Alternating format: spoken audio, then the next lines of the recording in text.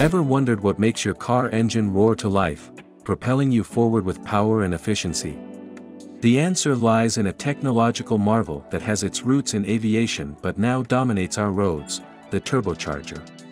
We're diving into the heart of the matter, exploring the world of turbos, how they work, and why they've become an integral part of modern engines. So buckle up, and let's turbocharge our knowledge. Turbos weren't born on the streets, they were destined for the skies. Originally designed for aircraft, these powerful devices started infiltrating the automotive world in the 1960s, gaining widespread recognition in the 1980s. Today, the majority of petrol and diesel engines boast the added punch of turbocharging. But what exactly is a turbo, and what sorcery does it perform under the hood? Let's break down how your car's engine works. Picture it like a set of controlled explosions happening in each cylinder. For these explosions to occur, your engine needs three things, heat, fuel, and air. Together, they create the power that moves your car. Now, think of this process as a simple yet powerful routine. We call it the combustion process. It's like a mini explosion happening in each cylinder, giving your engine the kick it needs to run. Moving on to turbocharger. It's like a boost button for your engine. What it does is add more air into the engine, making those explosions more potent. But here's the smart part. The turbocharger doesn't go all out all the time. It's like having a turbo boost option when you need it. It kicks in mainly at certain speeds, adjusting how much power it adds as you speed up. This intelligent move ensures that your ride is not just powerful but also efficient, a simple way to get the most out of your engine while being mindful of fuel consumption. But here's the kicker, turbos don't hog additional engine power. They harness the energy of exhaust gases that would otherwise go to waste, spinning their fan-like blades at mind-boggling speeds. Early turbos were brutes, delivering power in a single overwhelming surge. Thanks to pioneers like Saab and Porsche, modern turbos have evolved into sophisticated systems, ensuring linear power delivery and maximum efficiency. Turbos live in a world of extremes, high pressures, and scorching temperatures. To keep them in check, they often come accompanied by trusty sidekicks, the intercooler and oil cooler. The intercooler chills the hot air from the turbo, while the oil cooler ensures the turbo's lubricant stays cool. Imagine it as a superhero duo, maintaining the perfect balance of power and cool-headedness. But why the turbo revolution? Simply put, turbos are efficiency wizards. They're not always in full force, activating strategically above certain revs. This means during light driving or official fuel economy testing, impressive efficiency figures can be achieved. Turbocharging found its sweet spot in diesel engines, with their simpler intake systems and robust blocks that can handle the immense air pressure.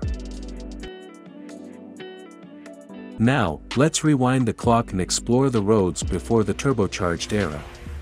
Picture cars without the whir of a turbocharger, relying solely on the natural intake of air. These vehicles, though lacking the turbo's power-boosting prowess, still had their own charm. Cars without turbochargers typically boasted less power compared to their turbocharged counterparts. Why? Well, a turbocharger's magic lies in compressing air and forcefully injecting it into the engine, unlocking a surge of power and efficiency. Without this mechanical wizardry, engines had to make do with the natural ebb and flow of air. The absence of a turbo meant relying solely on natural air intake. This, in turn, limited the amount of fuel that could be burned in the combustion chamber, putting a cap on the power produced. But fear not, for these non-turbocharged vehicles still manage to offer sufficient power for everyday driving needs. Interestingly, cars without turbos often held an ace up their sleeve, better fuel economy. Their simpler engine design, free from the intricacies of turbocharging, made them more efficient on the fuel efficiency front. So, while lacking the turbocharged punch, these cars carved their niche, offering a balance between power and fuel economy in the automotive landscape.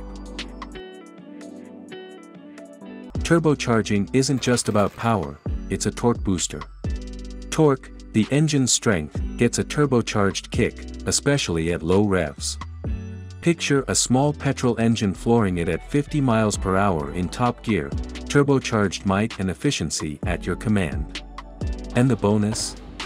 Quieter exhaust pipes.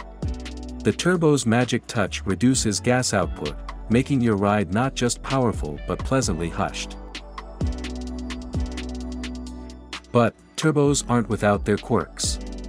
Ever heard of turbo lag? It's the brief pause between throttle and turbo response. Modern turbos employ clever tricks to minimize lag, double turbos commonly known as twin turbos, electric motors spinning turbines in anticipation. Yet, they're not invincible, neglect and abuse can lead to turbo troubles. Fear not, though, proper maintenance keeps them in top shape. Now, a question that might have crossed your mind, what distinguishes turbocharging from supercharging? It's a common curiosity so let's meet the supercharger, a different kind of powerhouse. Similar to the turbo, it's all about pumping more air into the engine, but here's the twist, the engine itself spins it. It's like a direct, no-nonsense approach. Unlike the turbo, superchargers are lag-free and love to deliver extra torque, giving your car a robust feel. Picture them as the muscle car of the power-boosting world, revving up with a soundtrack that's hard to ignore. But, and there's always a but, efficiency takes a bit of a back seat here. Superchargers sip power directly from the engine, not through exhaust gases like the turbo. So, while they bring the brawn, they do so at a cost to overall efficiency. It's a trade-off between raw power and fuel economy. And here you go, turbocharging and supercharging, our go-to methods for enhancing engine performance, share the mission of boosting horsepower in normally aspirated engines through forced induction. They're like air compressors, but each has its unique approach. Let's shift gears. Will the turbo face extinction in the electric era? The answer, not a clear-cut demise, but a transformation. Porsche, for instance, slaps the turbo moniker on its powerful Taycan EV versions. And who knows, future engines might dance with hydrogen, with turbos lending a helping hand in this eco-friendly tango. Before we draw the curtains, did you know the mastermind behind the turbocharger's inception?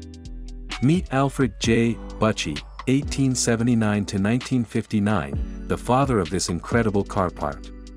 An automotive engineer employed by the Gebrüder Sulzer Engine Company of Winterthur, Switzerland, Alfred crafted the turbocharger before World War I, publishing his ingenious design in Germany in 1905.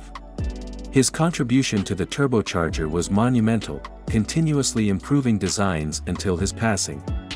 And there you have it, the turbocharger, a wonderment that has transformed the way we experience automotive power. From its aviation origins to becoming an efficiency maestro in our drives, the turbo's journey is nothing short of extraordinary. So, next time you hit the road, remember, there's a little turbocharged magic propelling you forward. Thanks for turbocharging your knowledge with us today. If you found this video intriguing, hit the like button, subscribe Physics Daily for more automotive insights, and share your thoughts in the comments below. Until next time, drive safe, stay curious, and keep the wheels turning.